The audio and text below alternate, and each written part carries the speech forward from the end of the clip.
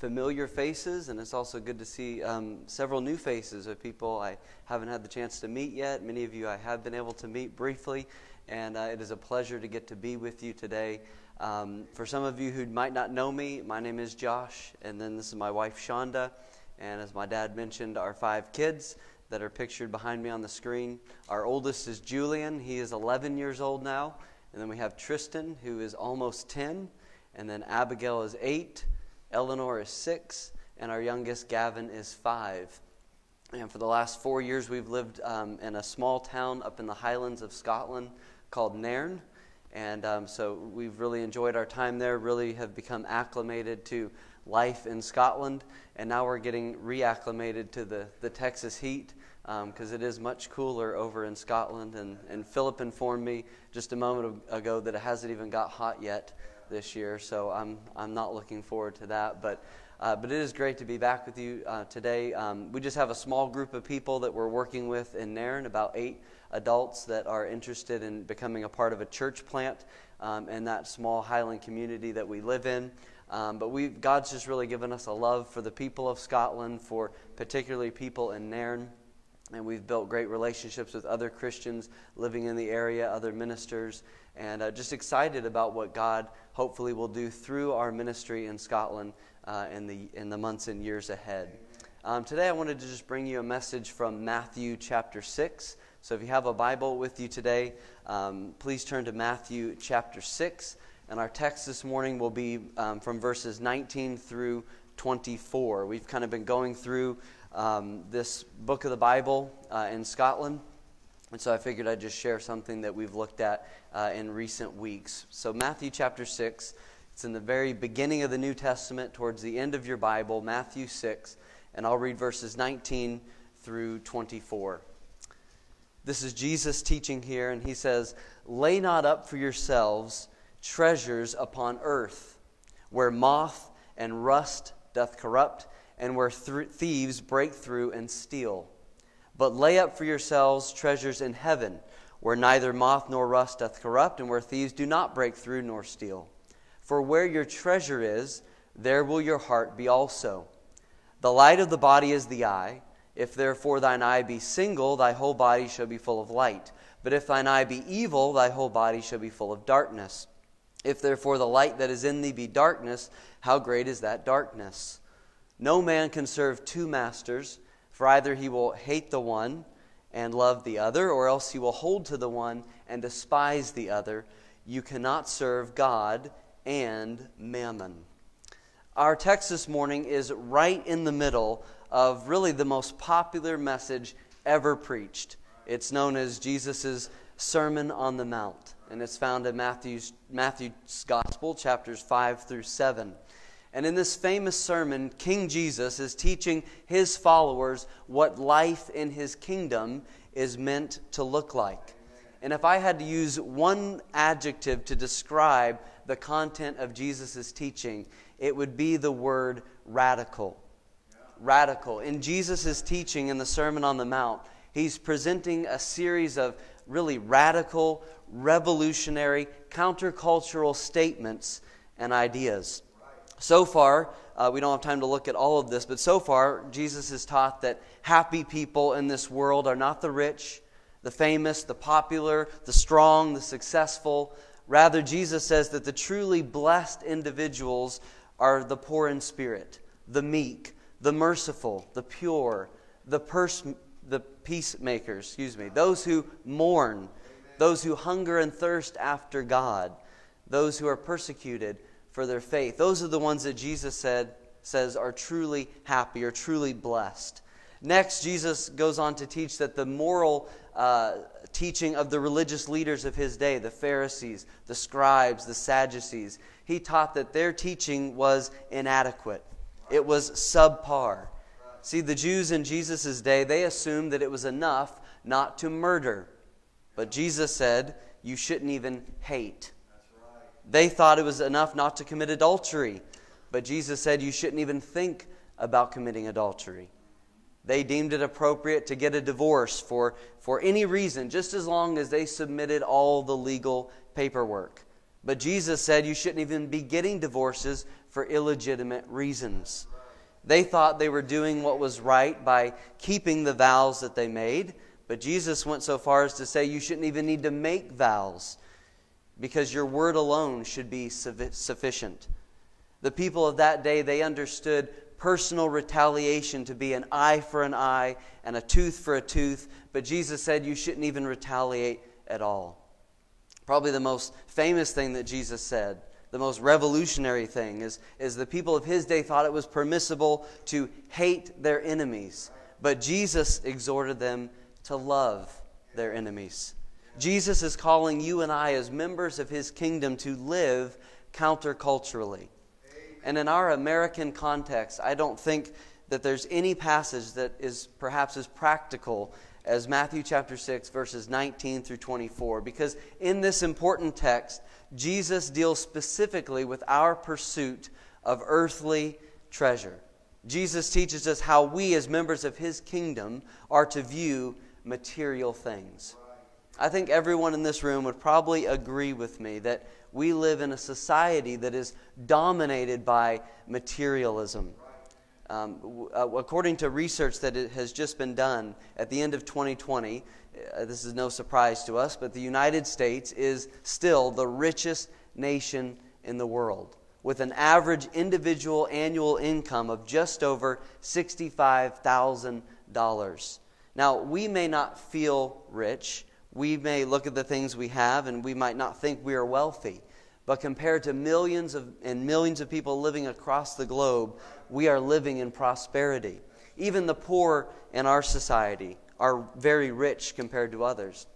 The poorest families here in Arlington have far more than people living in other places today, and they also have far more than the people who would have originally heard Jesus' words in the first century.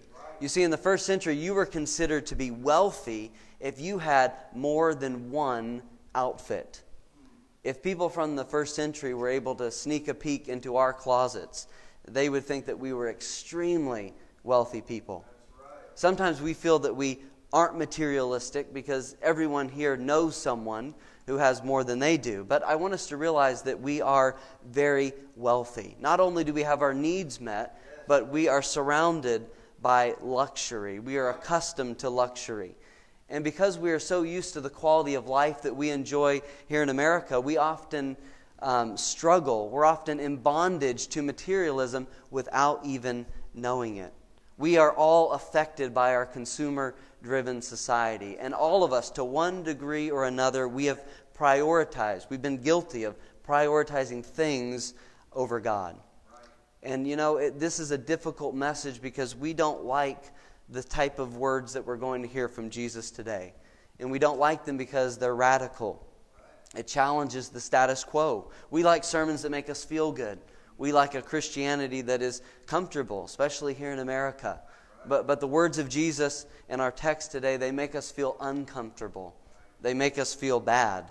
Uh, the reality is that materialism, living with our focus on stuff, is inconsistent with life in God's kingdom. One of my heroes, uh, he's, he's passed away now, but he was a famous English preacher called John Stott. And he once said this Materialism tethers our hearts to this earth. The wealth and the blessings that we particularly enjoy in America, they often keep, keep us from seeking God with our whole hearts. Materialism causes us to set our affections on things below instead of on things above, like we're commanded to do. The focus of our passage this morning, we can really sum up with one question What do you treasure? Or maybe better yet, what do you value most of all? Amen. Is it the things of this world or the kingdom of Christ? Amen. Before we move on any further, let's pray and ask God to bless uh, this message today. Our Heavenly Father, we are grateful for the opportunity that we have to come and meet together, to open up your word, and I pray that the Holy Spirit uh, would, would open up our eyes and our hearts to receive the message that you have for us today, this radical teaching of Jesus. We confess, Lord, that we are unable in and of ourselves to live out these high, holy teachings of Jesus. Lord, we confess that we need the transformative power of your Holy Spirit to do so. And so, Lord, I pray that you would give us the strength that we need that only comes from you uh, to lay up treasure in heaven, to live in light of eternal realities. And Lord, I ask this all in Jesus' name. Amen. In this passage, we have Jesus confronting us really with three choices, three choices that we all have to make. The first choice is a choice between two treasures. The second choice is a choice between two visions. And the final choice is a choice between two masters. That's what we're going to look at for the next few moments. Choice number one is a choice between two treasures. And Jesus wants us to answer the question where are we going to store up our treasure? In verses 19 to 20, we see that there are really only two types of treasure there's earthly treasure and there's heavenly treasure. According to Jesus, that's all there is. You know, I think it's, it's interesting when we look at our society, we are all treasure seekers. We're all enamored with the thought of finding treasure, of finding success and wealth and fame and fortune. You know, this is reflected in the, the countless books that have been written and movies that have been made, all about people searching for treasure. We have five kids, and so we obviously have a subscription to Disney Plus. It came out right before the first lockdown. It was perfect timing. It helped us entertain the kids during all those months of, of isolation where we weren't allowed to leave our home. Um, and, and so the other day I just typed in the word treasure in the Disney Plus search bar, and, and it yielded all these results Treasure Island, Treasure Planet, Treasure Buddies, National Treasure 1 and 2, Treasure of Matacumbe, Muppet Treasure Island, Egypt's Treasure Guardians, Tinkerbell and the Lost Treasure, DuckTales the movie, Treasure of the Lost Lamp, Tut's Treasure, Hidden Secrets, Lost Treasures of the Maya. All those movies and shows about treasure, and that's just Disney Plus. That's not Amazon Prime or Netflix or all the other streaming devices. Did you know there are actually still today professional treasure hunters? I, I didn't really know this, but there's a guy called Greg Stemm. Um, he is the CEO of a leading salvage company. And over the course of his career, he's amassed over a billion dollars worth of lost treasure. The human nature is hardwired to desire wealth and fortune. The, the question is not, will we seek to obtain treasure? The question is, what sort of treasure will we seek to obtain? Treasure in this life or treasure in the next life? Let's start by defining treasure. What does Jesus mean by treasure? Well, both the verb lay up and the noun treasure that are in our text, they come from the same root word in, in Greek, and it's the word thesavros. It's where we get our English word thesaurus. The, it, we probably don't use those anymore, at least a, a, hard copy. Maybe you have one on your phone. But a thesaurus means a treasury of words. And the Greek word uh, thesavros, it means something that you store up or that you deposit for safekeeping. It refers to wealth that you collect or save. It's not something that you're going to use in the near future. It's not something we would define as a necessity. It's luxury, it's extravagance, it's having 50 uh, outfits in your wardrobe when you only need a few. It's having a six bedroom house when it's just you and your spouse living there. It's having three cars in the driveway when you really only need one. Jesus' point is that we must be careful not to hoard things. He, he does not denounce having things, rather, he is warning against having things just for the sake of having them, something we're guilty of here in America. Jesus is talking about unnecessary extravagance. Something else I think that's important to note is that treasure here doesn't necessarily mean something that has great financial worth or value. It could be something that, that doesn't. One writer defines treasure as this whatever you value and protect. It, it may have minimal monetary value, it may be worthless to someone else, but it's something you cherish and delight in. That's what treasure is. Amen. Every person in this room, we all like different things. And therefore, your treasure in life might look different from my treasure or, or someone else's. Amen. Let me try to illustrate this. Uh, living in Scotland for the last four years, my boys have developed a real passion for soccer, or as the rest of the world calls it, football. And, and I've gotten into it. I've watched it quite a bit. I understand the rules and things now. I never grew up playing soccer over here, but I, I enjoy it. But I don't have the same passion for it that they do. And likewise, I, I grew up playing baseball. Baseball is my favorite sport. Um, I, I, grew up playing it. I was able to watch some baseball last night with my dad and my uncle, my grandfather. I love baseball. I have a passion for it. My boys like it, but they don't have the same passion that I do. Or maybe another example, I've, I've gotten into running over this past year. And um, I've ran a couple half marathons, and I'm training to run a marathon around Loch Ness in October. And every day when I go out to, to leave on, on a run, I run by this beautiful golf course. We have two beautiful golf courses in our town. And I'll look over at the guys golfing, and no offense to my uncle, my grandfather, I have no desire to go out and golf. And, and they look at me and they probably have no desire to go out and run 10 miles.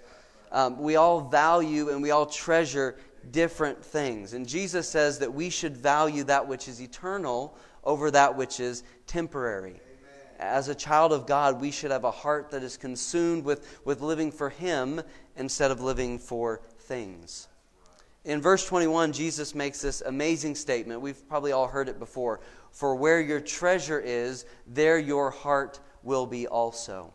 What Jesus is saying is that people's actions, their choices, they're shaped by the things that they cherish most.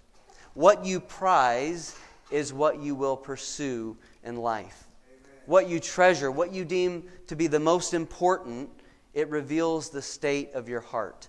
I was reading a book recently, and the author made this statement. I thought it was really powerful. He said, Identify a person's goals, and you will identify their God.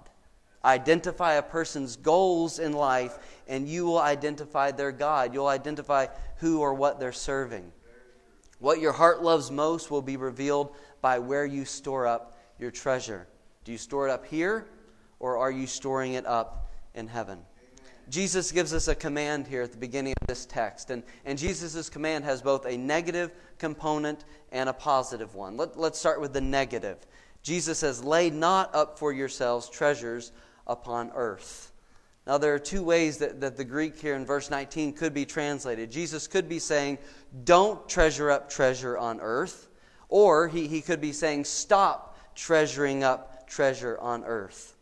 To those here in the room today who, who are young, who have their whole lives ahead of them, Jesus is saying, if you're thinking of devoting your life to storing up treasure here on earth, don't do it.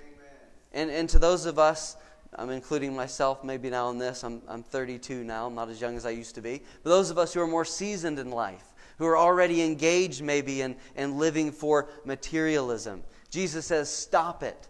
Repent of your materialism. Quit being so focused on earthly things.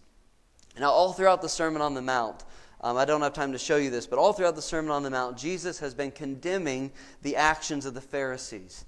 The Pharisees were the hypocrites the actors, uh, the ones who wanted to have center stage. They wanted all the glory for themselves. They weren't concerned with giving glory to God. And, and Jesus has been addressing um, the, the, way that they behaved. And I think he's doing that here as well, even though the Pharisees aren't mentioned in the verses that we, we are looking at. You see, the Pharisees viewed wealth as a sign that one was right with God.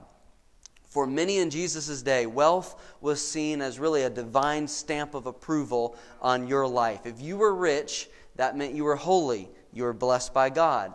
And the opposite was then true. If, if you were poor, that means you were a sinner and you were cursed by God. Now, the Old Testament does make reference to material blessings being given to those who serve and obey God. In De- Deuteronomy 28, you can read that. It talks about all of these material blessings that God gives to those who obey his law. Proverbs chapter 3, verses 5 and 6 are familiar passages that talk about honoring God with the things that we have, and then God will cause our barns to be filled, uh, our, our vats to burst forth with wine. So that, that concept is in the Old Testament. But the Pharisees had misinterpreted these passages, and they wrongly assumed that the more you had, the more righteous you were. And the less you had, the more sinful you were.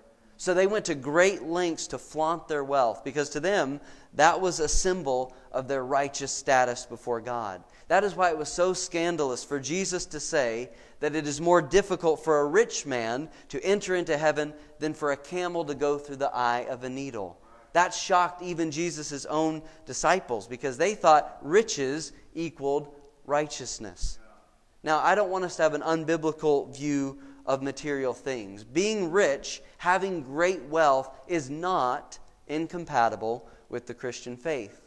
No, we live in a society, sadly, where many people disdain the rich. We see that all around us. And they assume that if anyone has money, they got it by exploiting someone else. And that is not true. The Bible encourages hard work, wise investment, and so forth. There are certain biblical principles that when you put them into practice, when you follow them properly, it will often result in material wealth. There's nothing wrong with working hard and, and being wise and gaining financial resources. Job was, was the greatest man of all the East, it says in the Bible. Abraham had great material wealth. Some of the righteous kings of Judah were extremely wealthy. In the New Testament, there were many affluent individuals who supported Jesus and Paul by using their financial resources. Um, Lazarus, you remember Lazarus, Martha, and Mary? Often they would house Jesus and his disciples.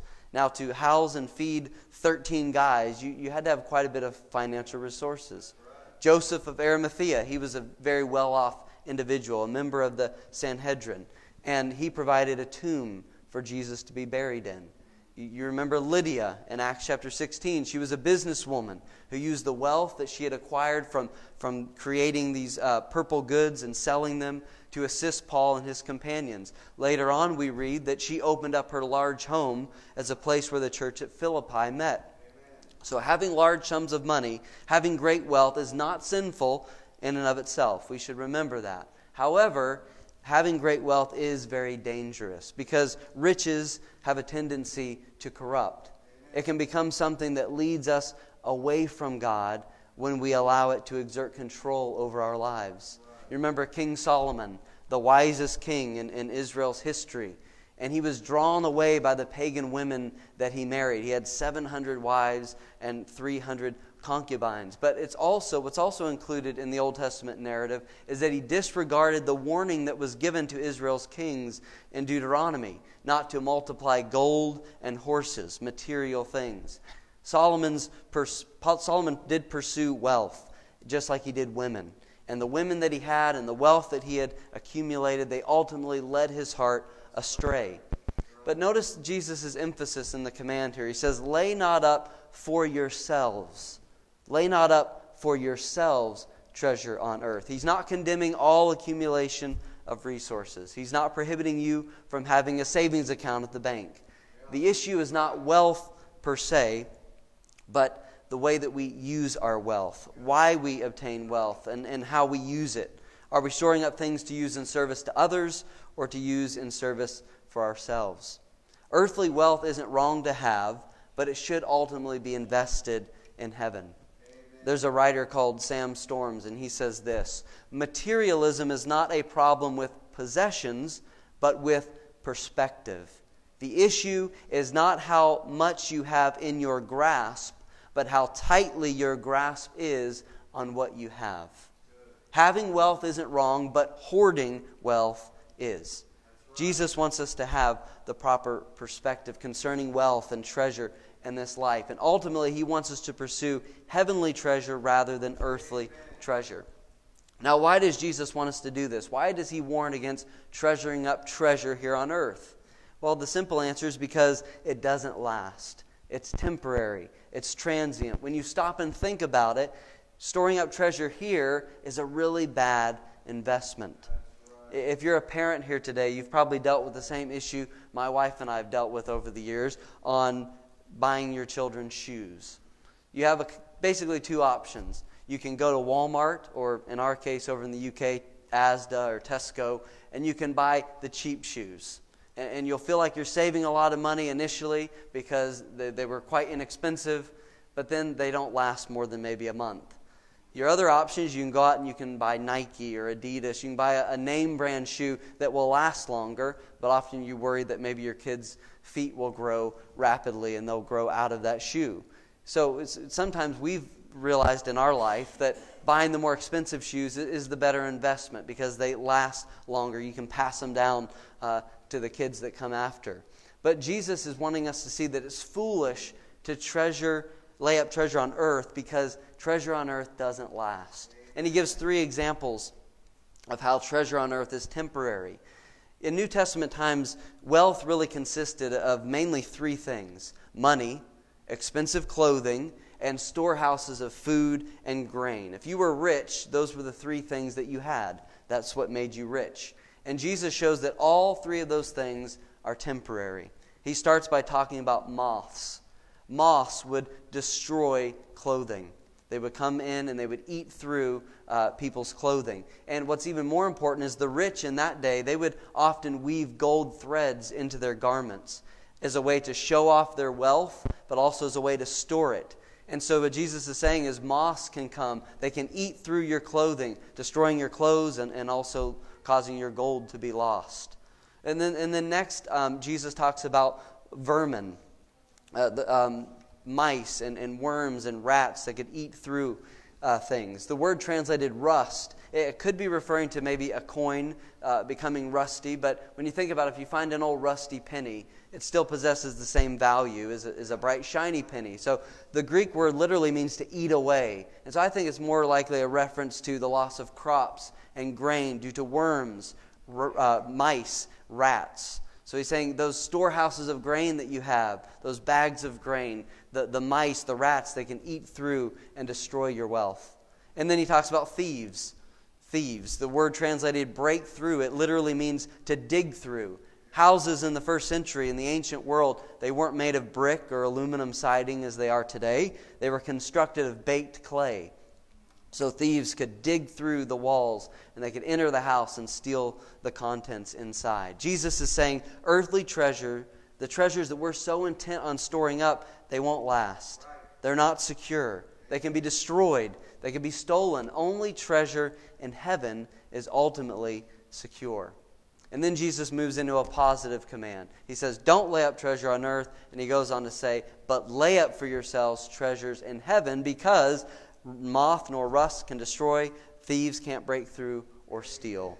Laying up treasure in heaven is superior because your investment is secured by God, and the dividends will be enjoyed for all eternity. Now, the question everyone's probably asking is how do we lay up treasure in heaven? And I'm going to answer that at the end of the message. But I want to quickly move on to choice number two, and I'll be really brief on these next two choices. Choice number two we've looked at a choice between two treasures. Secondly, we have a choice between two visions.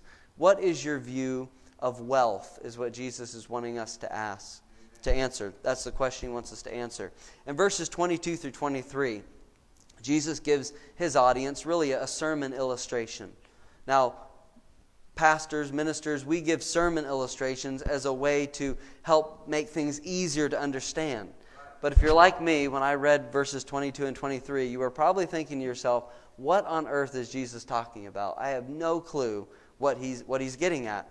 And what's more is the commentators, the experts, they're not really sure what Jesus is talking about either. It's a very difficult illustration for us to understand, for us to relate to. But I'm sure it's something that would would have been well understood by Jesus' original audience. But let me take the study that I've done on this and just boil it down to two simple things. Here's basically what Jesus is getting at. As the human eye gives light to our bodies so that we can see where we are going when we walk, so our spiritual vision affects how we walk and what we do with our lives. That's basically what Jesus is saying. And there's two components to this. First, Jesus wants us to be single minded single minded. Jesus speaks of an eye being single, and he's referring to being single minded in your focus, not being distracted by other things. If the aim of your life is single minded devotion to Jesus, then you, you won't be caught up in materialism. The second thing Jesus wants us to see, I think he's emphasizing, is generosity. Generosity. And you might be thinking, where are you getting generosity out of those two verses? Well, you have to do some, some study of the initial context that Jesus was speaking into. The idea of an eye being evil, it likely refers to the Jewish concept that would have been popular in that day of the evil eye. Now, have any of you ever been given the evil eye before? My, my mother used to give me and my siblings the evil eye all the time. And from time to time, I get it now as an adult from, from my wife. But the evil eye, the, the evil eye to the Jew, it didn't mean looking at someone with disdain or disapproval. It meant looking at what someone had with the desire to have it for yourself. The evil eye really referred to being selfish and greedy. So Jesus, I think, is saying, in contrast to an evil eye that is greedy, believers are to have a good eye. They're to be people who are characterized by radical generosity. Here, here's the point if our vision is clear, if we are single minded and fixed on that which is eternal, then our lives will be full of light, full of wisdom, full of insight. If we have the right perspective, we will not look with an evil eye of envy at what others have.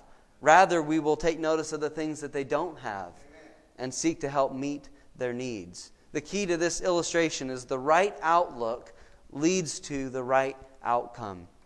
That's what Jesus wants us to see. If you have the proper perspective regarding treasure, if you possess a single minded devotion to Christ, it will manifest in your life in the form of generosity. Amen. So, briefly, let's all conduct a little spiritual eye exam this morning to determine uh, if our actions reveal a heart of greed or a heart of generosity. If someone were to look at your annual giving statement, would they conclude that you were a generous person? I know that's a hard hitting question. I, I, I was convicted over this writing this sermon myself, which you should be. Every time you write a sermon, it should affect you first. Uh, what about this question? Do you spend more on entertainment than you give to your church? Do you spend more on vacations every year than you do on charitable giving? Do you spend more on eating out than you do on meeting the needs of the poor? Do you struggle to have enough money to give away to others because you've stretched yourself so thin paying for all these things that you really don't need. This is hard hitting stuff, but Jesus wants us, He wants you and I to answer the question how's your vision? You know, when I think about going to the eye doctor, there's, there's three types of patients that you encounter at an eye doctor. The first group, they go in and they have perfect 20 20 vision. And I have to admit, I'm very jealous of those people. I can't stand those people that go to the eye doctor, perfect vision. They can read the bottom line on the chart that I've never been able to read, and that they're out the door, no prescription needed for them. Then you have the second group of people, and they're the ones that are like me and my daughter Abigail, who are essentially blind. Uh, I remember going into the eye doctor as a young boy. I'd worn glasses for a long time, and I didn't really think my vision was bad but I failed the eye exam and found out that I needed glasses. And I received my new prescription a short time later. And I remember being so amazed. If you wear glasses, you'll know what I'm talking about, at how clear things become. You can see the, the leaves on the trees, the individual blades of grass. I missed all that stuff previously due to my poor eyesight. And, maybe there's a few of us here today that are like that. Um, maybe we've been living for stuff our whole lives with absolutely no regard for spiritual things or for eternal matters. And Jesus' words to those of us who fall into that category are basically put on these glasses. Look at life through the lens of my teaching, and you'll finally be able to see what's truly important. You'll be able to see clearly the leaves on the trees and, and the blades of grass. But I think probably the third category is where most of us would find ourselves. The third group of people that go into the eye doctor, they just need their prescription tweaked a little bit. Maybe they're having trouble with seeing things far away or up close. Maybe they're getting headaches, and they go in, they just get their prescription adjusted a bit. I would say most of us are probably in that position. We wouldn't think of ourselves as greedy people, uh, but when we're exposed to Jesus' teaching, we realize that our lifestyles don't always line up with how Jesus says we are to view material things. If the truth be told, we all, myself included, spend far more time laying up treasure on earth than we do in heaven. And Jesus is calling us to, to come in and get an updated prescription. We need to ask God to give us a clear vision. We need to plead with Him to produce that spirit of generosity within us uh, like we've never had before. We need our lifestyle to actually reflect what we claim to believe as Christians. The third choice Jesus gives us is a choice between two masters. A choice between two masters in verse 24. And here Jesus is asking the question who are you serving?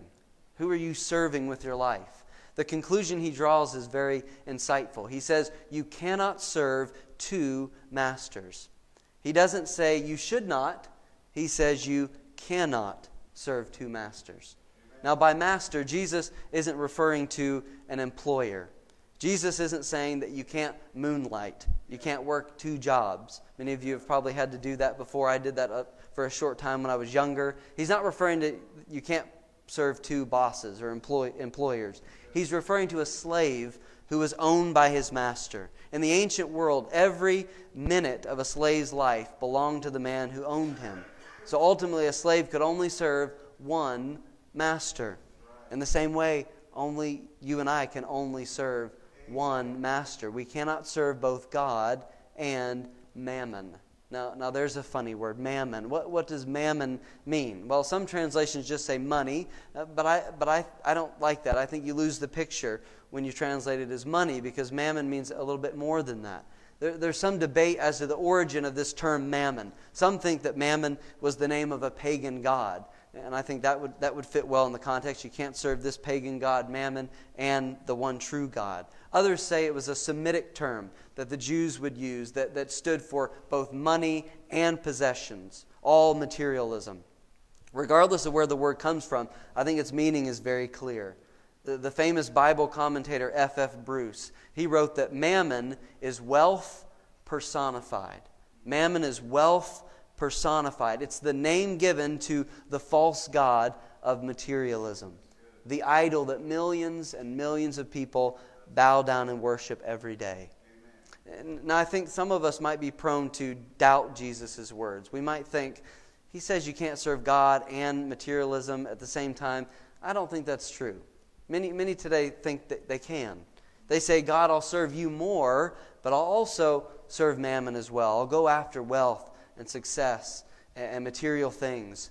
The problem is that there's only room for one God on the throne of your heart. If you try to worship God and mammon, what will always happen is mammon will usurp the seat of prominence in your life that God demands and deserves.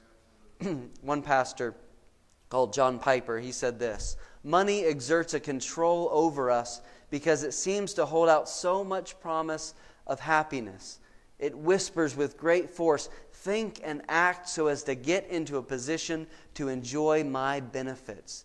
This may include stealing, borrowing, or working. Money promises happiness, and if we serve it, and we, we do serve it by believing its promises and walking by that faith. So we serve mammon by believing the promises that mammon offers us that we'll have happiness and security, that life will be great if we just make more money. To serve mammon is to cherish mammon and pursue the benefits that mammon can give us. And to serve God means to cherish God and to pursue all the benefits that God can give us. Jesus is calling us to cherish God and seek Him as the true treasure above all treasures. There, there are far more treasures to be found in serving God than in serving mammon. But often we believe the lie that mammon can actually make us happier than God can. But you know, you look all around us and you see that that's not true. Two main reasons. Number one, stuff can't make you happy. Stuff can't make you happy, it doesn't satisfy. Some of the richest people in the world are the most miserable. I think of a guy like Robin Williams, who years ago committed suicide, had everything anyone could ever want fame, fortune, but he wasn't happy. And, and that's a recurring uh, theme all throughout our, our culture. Stuff can't make you happy. And number two, stuff can't be taken with you when you die. It doesn't last. How foolish it is to lay up treasure on earth instead of heaven. Many of you are maybe familiar with C.S. Lewis. And maybe you've read some of his books. Maybe the kids have read the Chronicles of Narnia that he wrote. Um, but he once compared people who spend all their time focused on things of this world to an ignorant child who wants to go on making mud pies in a slum because he cannot imagine what is meant by the offer of a holiday, as we say in Britain, or a vacation at the sea. And C.S. Lewis said that those who focus on material things are far too easily pleased. Our, our son last year, Gavin, we bought our youngest son, Gavin, what's called a mud kitchen. This was Shonda's idea. It was not my idea. I, I'm, I like everything to stay nice and tidy, and a mud kitchen is exactly what it sounds like. It's this little thing out in our back uh, garden, our backyard, that Gavin goes out and he has pots and pans and a little sink, and he just plays with mud. And, I guarantee if you went to our house in Scotland right now and went into our backyard, our back door, there'd probably be handprints of mud from Gavin. And Gavin loves to make those mud pies. But how foolish would it have been of Gavin if I came to him on the day we were about to leave to come to America and said, Come on, Gavin, we're going to go to America and, and, visit all of our family and friends and do all these fun things. And Gavin said, No, I, I'd rather stay and make mud pies in my mud kitchen. That's, like, that's what it's like for us. We have all this waiting for us in the new heavens and the new earth, the world that is yet to come. But we're satisfied with making mud pies. We're satisfied with things that ultimately have no value, that won't last. Let me close by just giving you some three practical things. How can we lay up treasure in heaven? Three ways we can do this. Number one, seek God's glory, not your own. We kind of referred to this in our, in our Sunday school hour. Seek God's glory, not your own. I think if you go back and read in the Sermon on the Mount, beginning in chapter 6, the treasure that Jesus has in mind in our text is the same as the rewards that he's been repeating over and over in chapter 6. He talks about laying up rewards in heaven by, by bringing glory to God and not ourselves. In verse 1, he's referring to practicing righteousness. And he says to basically beware of practicing righteousness before other people in order to be seen by them, because if you do that, you will not be rewarded from your Father in heaven. In verses 3 and 4, he talks about giving to the poor. He says, When you give to the needy, don't let your left hand know what your right hand's doing, so that your giving may be in secret, and your Father who sees in secret will reward you. In verse 6, talking about prayer, he says, When you pray, go into your closet, go into your room, shut the door, pray in secret, and God will reward you openly. In verses 17 and 18, about fasting, he says, When you fast, anoint your head, wash your face. Don't appear to be fasting to others, do it in secret. Don't do it for the glory that comes from man, and God will reward you.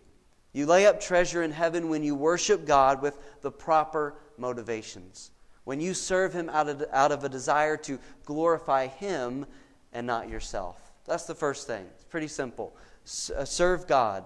Serve God with a desire to bring Him glory.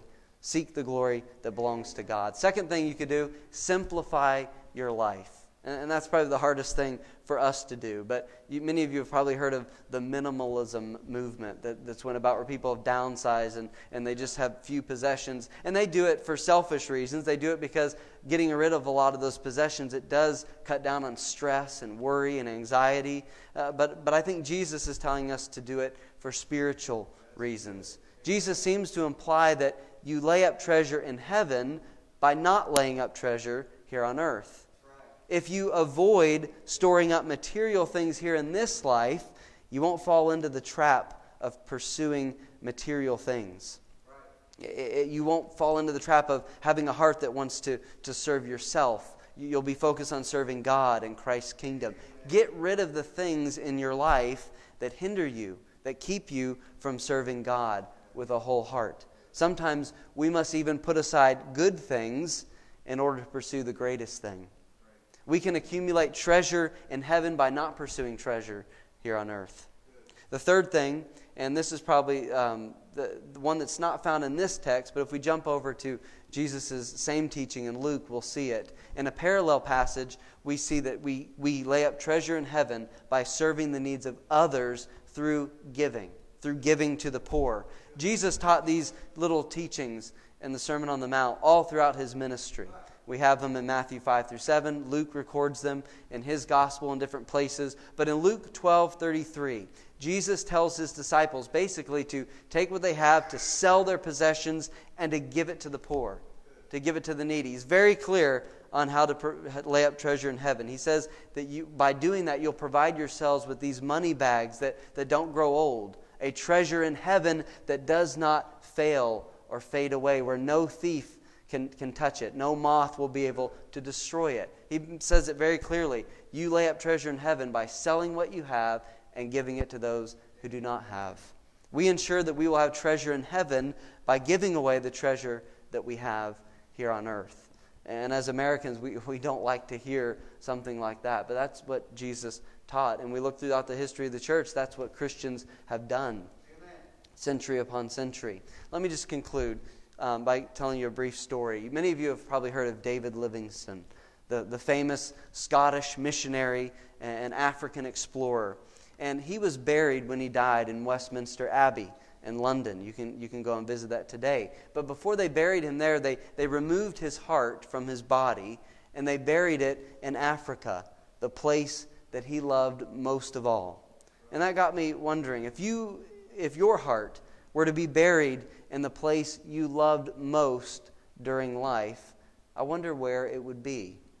Would it be the soccer field, the baseball diamond, the golf course, the gym, the office, maybe your house, maybe the ladies here today, your closet, maybe your well manicured lawn, your man cave, your vacation home. Where, where is your treasure? Are you cherishing God and seeking Him as the treasure above all treasures, or are you busy making mud pies, accumulating things on earth that, that won't last, that won't satisfy, and that won't be able to go with you when you leave this life? It's my prayer that the Spirit of God would cause us to hear and to heed Jesus' teaching today and invest our lives in, in gaining forever treasure in heaven rather than chasing after fleeting treasure here on earth. Maybe you're sitting here today and, and you're listening to the teaching of Jesus and you're not a Christian. I don't ever assume that everyone's a Christian that I'm speaking to. Maybe you're not. Maybe you're not a believer. Maybe you're not really into church. It's not your thing. You've never turned from sin and self and, and put your trust in Jesus to save you. You've never bowed the knee to King Jesus and become a member of his kingdom. Well, I think Jesus told a very short story called a parable, especially for you. In Matthew chapter 13, Jesus compared the kingdom of heaven to a very valuable treasure that a man found hidden in a field. And when this man discovered this, this great treasure in a field that didn't belong to him, uh, he did what we would probably do. He immediately covered it back up, he, he hid it, and he quickly went out and he sold everything that he had so that he could buy that field and become the rightful owner of the treasure contained in it. Jesus is telling you and I today that the kingdom of heaven is far, far more valuable than anything we could ever accumulate here on earth. How foolish and how tragic Jesus said it would be for a person to gain all the treasures of this world and then die and lose their own soul. That, that's the ultimate unwise investment. And Jesus gives you two choices today. You can live a short time on earth for yourself, reject the gospel, die in your sins, and face judgment, or you can turn from your sin and trust in what Jesus has done for you through his death and resurrection so that you could be forgiven, so that you could enter into a relationship with God, so that you can receive eternal life. Let me encourage you today to choose Christ instead of the things that this world has to offer. Let's go to the Lord in prayer. Heavenly Father, I, I, do thank you for the opportunity that you've given us to be here today. Thank you for the freedom that is ours in this country to worship you publicly without fear of persecution. Lord, we're thankful for the teaching of Jesus that we have been confronted with today.